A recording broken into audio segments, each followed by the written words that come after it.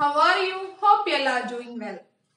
In our previous class, we discussed regarding rotation, revolution, the sun, moon, isn't it? Today, we are going to discuss regarding phases of moon. Actually, every night the shape of moon is different, isn't it? Yes. Actually, the moon does not really change its shape.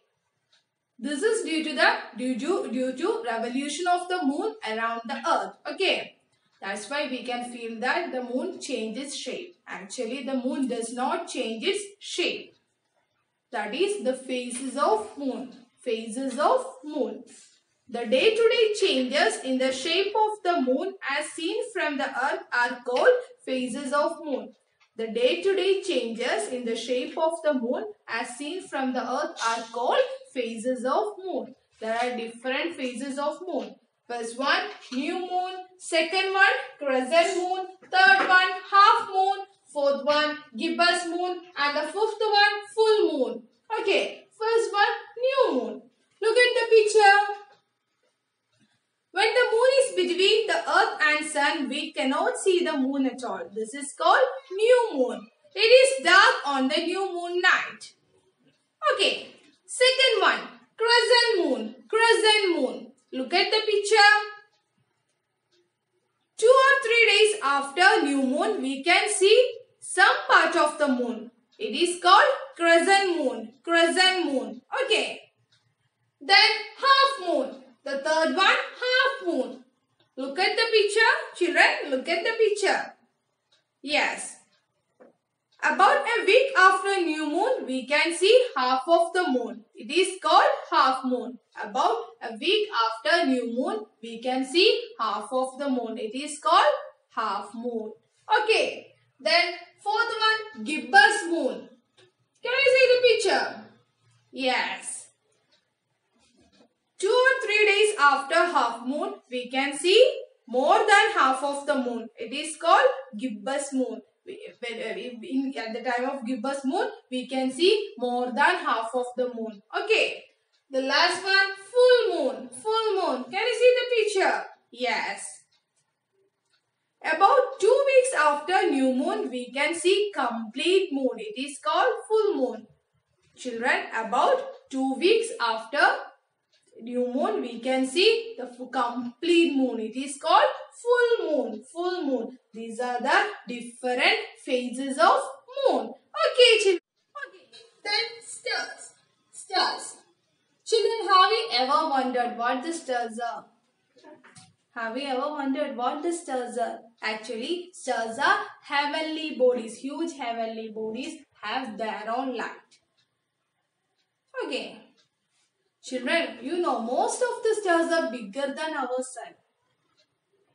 But they look so small, isn't it? Why? Because the stars are far away from our earth. That's why we can feel that they are so small. Children, have you ever seen telescope? Yes.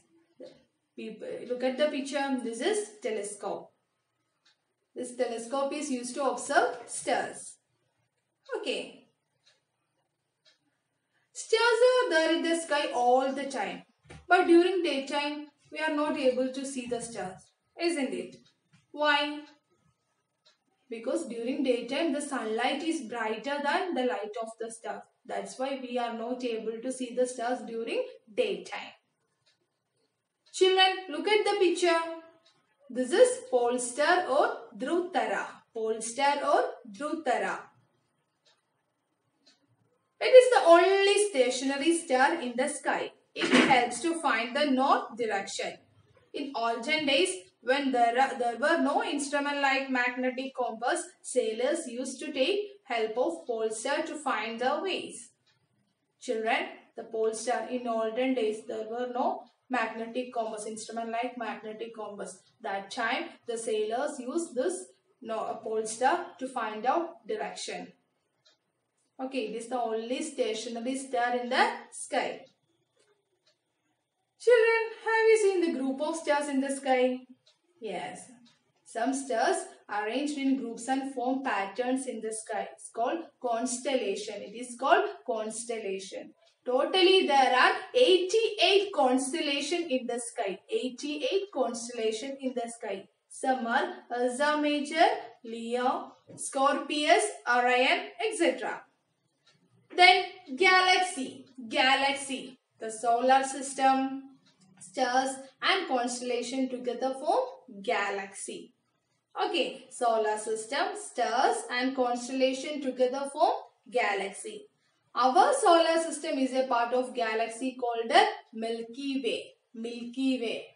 It is the our solar system is a part of the galaxy called the Milky Way. It is spiral in shape. It is spiral in shape. So children, I am going to wind up this session.